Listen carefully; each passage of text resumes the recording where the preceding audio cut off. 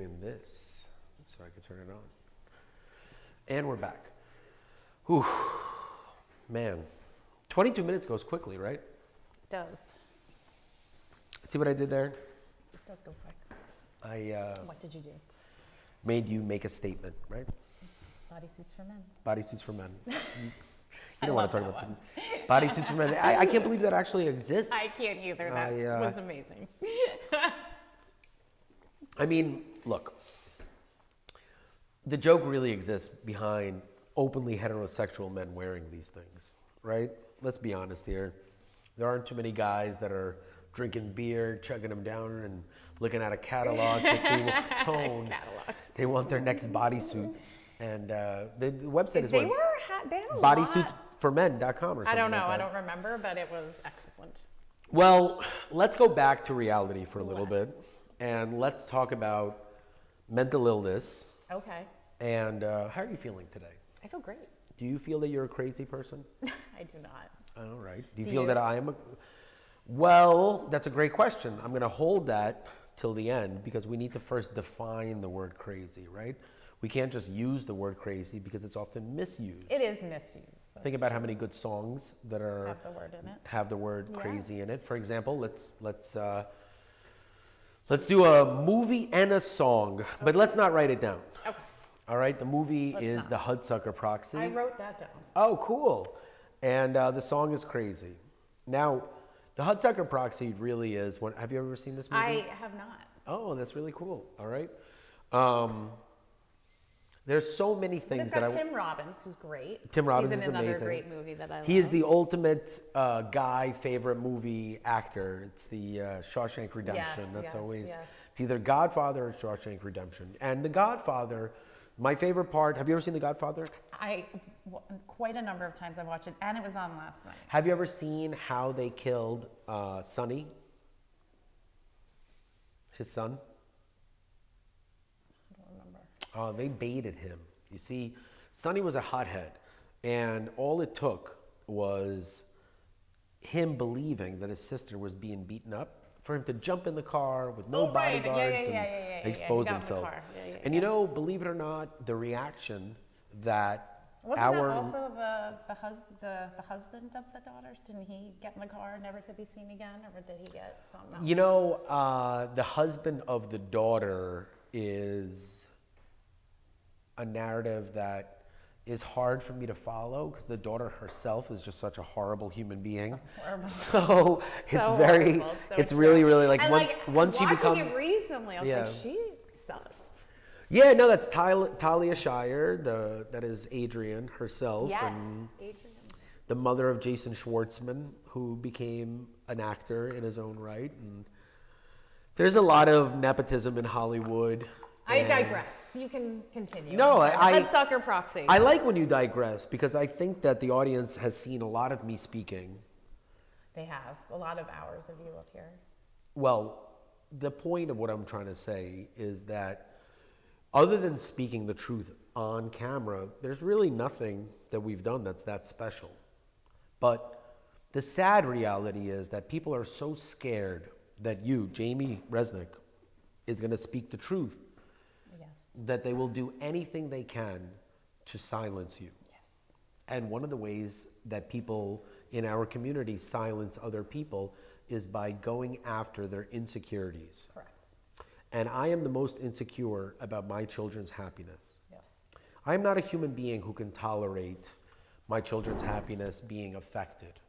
And after the videos that we posted last week, there are many people who are now trying to undermine our efforts to expose corruption, to bring, um, I don't know, life saving solutions such as uh, the end of the Israeli Palestinian conflict as is perceived, or perhaps Alzheimer's, or even uh, suicide, which I was able to successfully solve as an applied mathematical equation. But I'm going to pause Okay. on giving any more solutions to people that are going to laugh at me.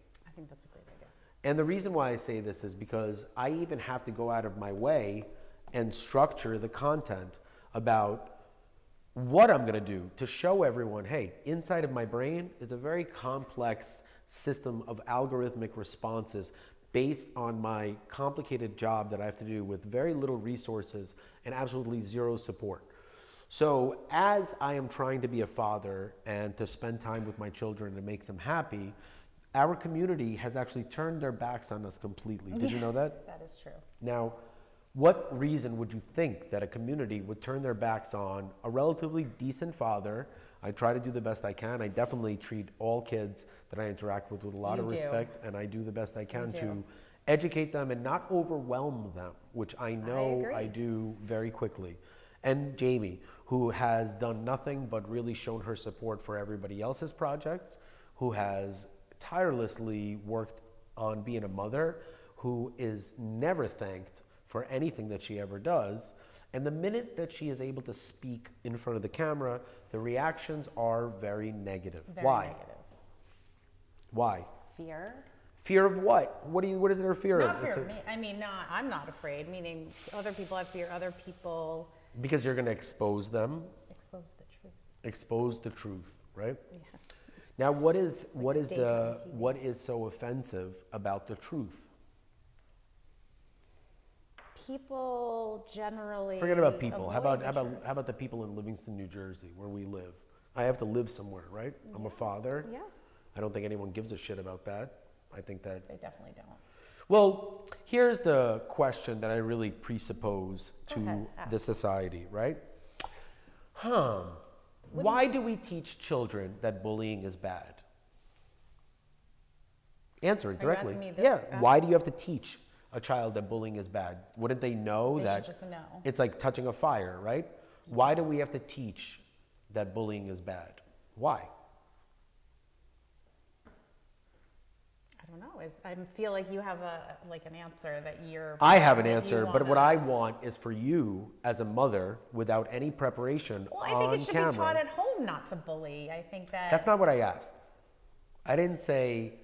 the- because there's been so much bullying that No. they, they have to have it as a topic. Nope, nope, nope, nope. Bullying has been around for thousands of years. Why? Why do we have to teach children? I will explain. You see, never in our society have we been so versed and apt at social interactions.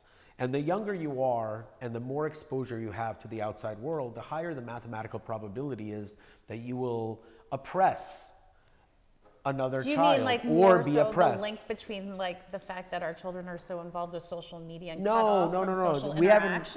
We haven't even gotten to the social media part of it. We're talking. To bring it back to the '90s. You see, the '90s really showed us why bullying is so big. Is because in the '90s, every mom really had a minivan and a station wagon, and in our neighborhood, and was really committed to their children's social agenda.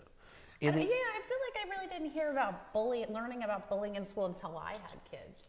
Well, a lot of that has to do with agendas, and a lot of that has to do with the ability to raise focus on something that is very I evident. think when I was growing up, the big focus was Drugs. mad, drunken dr- mothers against drunk drivers, drugs, and drugs, drugs, drugs, and Nancy drugs. Reagan. Right. Don't so do then, drugs. so then we evolved as a society, And it we realized bullying, maybe. Right, right. Bullying is a big thing. But if we as a society have to teach our children not to bully on a one-on-one interaction, meaning human beings, by what right do we have as a society to give children social media without the ability to either monitor or not monitor their content? And I'll explain to you what I mean by that. You see, I'm a father, and I have a really big problem. I'm fighting against the wave of lies that have both of my children hooked on YouTube, TikTok, and everything else. Yeah. But as a father, I chose to do something about it. And I hope that my children one day will appreciate what I, the number one applied mathematician in the world, was able to think of. And what I was able to think of was an invention called anti-social media. Correct. Now, Touched this is this. just one of the many facets of why I started this channel. But I really wanted to start this channel so everyone can see that there's a human being out there that has zero interest in the fake part of social media. And I will show what one human being can produce with absolutely nothing. And my children are told very clearly not to watch this channel because its content is not for them. But the reality is that their father is very much committed to making sure that they don't get bullied. Now, the way that they get bullied Is The way the that- way we get bullied? No, it's much more complicated. You see, you are connected to your child. So, in order for them to be bullied, you have to be bullied. And you have to be bullied for them to be bullied. I'll explain. A child's perception of the world is based solely on what they are able to receive. So there's many children that do not care about insults because they hear them on a daily basis. Do you insult your kids on a daily basis? Oh my God, no. Okay. but if you did, they would have much thicker skin and they would be able to handle things a lot more. So you must understand that a big part of if your children have their feelings hurt is because in your brain, whether or not you recognize it or not, you take responsibility for not making them stronger. So your reaction is not just based on, oh shit, you hurt my son's feelings. Like, oh shit, I failed as a mother meaning that my child is not part of the oppressors, which then you would have a completely different perspective on. Right, right, right. And your child is not strong enough to handle the situation on their own.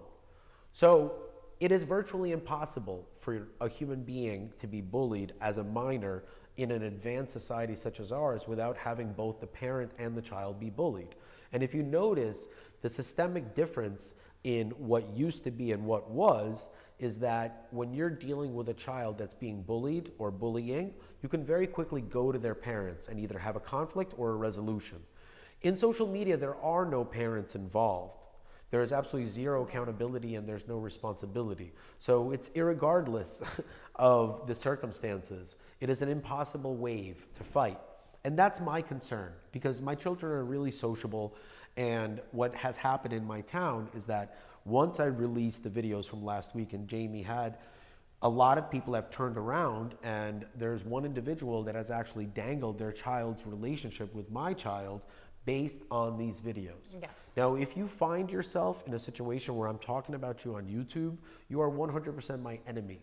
You are not a friend, you're not a neutral party, you are 150,000% my enemy. You have just hurt my children, you have hurt me. That is a double. Now, I hope that my children can grow up one day and recognize that I did not make this channel by 100% choice. I was forced to do it because there was no other way to get it done. But once I came up here and found my voice, I recognized that, holy shit, my words are all being used against me. And we find Yes, ourselves in a very true. society teaching children to stand up to bullies, to fight the power, to run to adults. And yet, when I run to law enforcement, nothing happens. When I speak the truth, people laugh at me. So, what kind of an example are we setting for our children if we suppress the voice of a mother and a father who are doing nothing more than exposing Just standing here talking. hundreds and of millions of dollars, if not billions of dollars of fraud and corruption, which we have spent our entire lives reading about in the press. Yet when we are the victims of it, it goes completely ignored. Yes, we're so bogged down by this minutia of what's going on of the bullying in our town that we haven't even been able to really talk about some of the bigger issues. Well, the reality is that if it wasn't for my wife, who I actually care about a lot, and the discretion that I show on this channel is solely based on my wife. The only people, it's true. I, I The only I'm people that I am true. trying to appease are my in laws and my wife, who feel that they're not special enough for my love. They feel that I have some sort of an agenda outside of bringing the family together. No matter what I do, no matter what I say, it's like Groundhog Day, where all actions that I take that I feel are positive are spun backwards against me. And no matter what I say or do, it'll always be the wrong thing. well, you're not working. You're making those stupid videos with Jamie on YouTube. But please These understand, they're not just important videos. Human beings need to be educated into the reality of what a job is. A job is what you do to generate income. I, Daniel M. Risis, am a victim of several judgments that prevent me from liquidating my assets and bring in proper attorneys in order to handle my cases. I am left with one of many myself and Jamie. yes. But the reality is that people need to understand that this is not a movie. I can't just drop everything that I'm working on and run to Home Depot and file an application or or You know, I was the CEO of Pierce Bainbridge. I'm sure that We're my very busy. my knowledge of the business aspect of a law firm is good enough to have me hired on a contract basis, but I can't. It comes with so much baggage because we live in a digital world. And in a digital world, a human being is really not allowed to make a mistake. Mm. And I'll prove it to you like this. We filmed a lot of videos. We filmed a bunch of titles last week, right? Absolutely. Do you know which video had the most amount of hits? I don't. The one that says, I fucked up. Oh, I thought. Yeah, I fucked I up. fucked up. and the sad reality is that you all believe that the numbers you see are real. You really believe that 95 people have watched it. Let me tell you something, okay? There's over 4,000 people that just want to see me embarrass myself that I know of, okay? Easily. yeah, okay? So, 10,000. so like the fact that you can actually look at an algorithm and not understand that these numbers are manipulated in order to suppress the actual data and only have the human beings that say, huh, let me think about Daniel and Jamie and let me watch this video. Now, the thoughts that you have are irrelevant. It is the time that you give me. So I have only seen a very small number of people from this little shitty town from taking a look at this important thing that we're going to talk about. But as a father, our society has made it virtually impossible unless you are a human being who is a professional entertainer who makes a living by discussing important subjects in a controlled environment, which is edited, scripted, and released based on the content approved by a massive corporation. Well, what's funny is all so many of these people love reality TV, yet and it's fake. Yet this, this is, It's very simple, Jamie. this is. It's very simple. If you're a human being who follows really good looking people on Instagram, you will hate this channel. And I'll explain. Because the people that are really good looking and have really successful lives, you don't really, really comprehend of the calculation of time that it takes to curate a very Their small, highlight reel. short, the highlight reel of call their it life. So the choices that they make. So, for example, there's Are a lot for of the guys. highlight reel. There's a lot of guys that are really into biking these days. You ever Oh seen yes, that? yes. and they I've make a seen lot of videos. They like, they like that. Now that's an acceptable that's an acceptable outlet of social media. You have a lot of people that approve it, you're showing people, but the reality is biking takes hours, it takes hours to prep, and it takes even more time to do Away the from back your end. family too. Well, I mean, unless you have some sort of like a harmonious avatar biking family, you're you're not going to really be able to do the same thing. And even on a bike, you can't really have a conversation with your children. I mean, you know, how are we doing over here? We're great. We're four time minutes. goes so quickly. So, ladies and gentlemen, video one, I'm going to tell you right now that my piece of shit town of Livingston, New Jersey has done a lot of good for me. They have one of the best police departments, one of the best fire departments. They have unbelievable resources. Their schools are top notch. My kids go to one of the best schools I've ever seen in my entire life. I will go to bat 2,000 times over for the principal and all the teachers that are amazing. But the people that live in this town that have the means to afford all of this have become rotten. Yes. They become rotten at the core. And until I see a constituent of individuals either subscribing to the channel or sending some support to you, Jamie, not to me. You see, I am not a lovable human being. All my life, I've been told how much I suck as a son, as a brother, as a father. Like I don't know. People just tell me I suck all the time. And what that does is We're like the yin and yang. I'm very lovable. you are very lovable, but the minute you became friends with me and started working for me, you became persona non grata. And that really is the statement that I'm trying to make. Look at Jamie, right? Same human being who has done absolutely nothing wrong, but yet you treat her like absolute garbage. You have no respect for her. You arrest her. You humiliate her. You throw her scraps and bones so she stays alive and she still perseveres and actually does everything. Because, ladies and gentlemen, she's a real mother. And a real mother will not allow people to change the narrative about who they are. But I allow it because I have a lot more self awareness than I should. And that is because of my father, who had no self awareness. And that's where Curb Your Enthusiasm joke really comes in. Where Leon in the lead, last season, I, I can't even, I think the next video we have to talk about Curb Your Enthusiasm, I really how my mind is blown. Blown, blown. And uh, Larry gets kicked out of a country club.